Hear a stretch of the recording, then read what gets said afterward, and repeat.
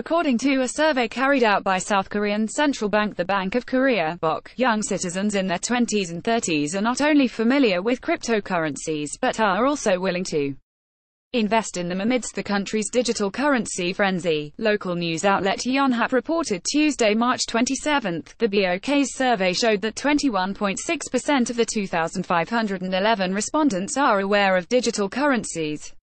Within this 21.6%, the percent of awareness for respondents in their 20s and 30s increased to 29.4% and 40.3% respectively.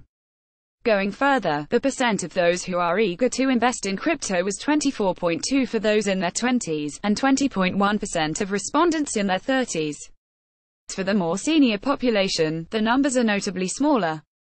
Only 5.7% of people in their 60s and 2.2% of those in their 70s said they have heard about cryptocurrencies, while 6.8% and 8.3%, respectively, claimed they would invest in crypto. In October 2017, the BOK's governor Lee Ju-yeol stated that cryptocurrencies like Bitcoin, BTC, would be regulated as a commodity in the country, rather than as a currency. It is difficult to look at virtual currencies as money by the definition of Bank of International Settlements, BIS.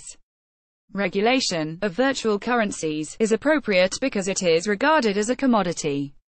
It cannot be regulated at the level of a currency. Recently, Cointelegraph reported that 21.2% of U.S. college students have used loan money to fund cryptocurrency investment, while crypto industry employees prefer to be paid in crypto.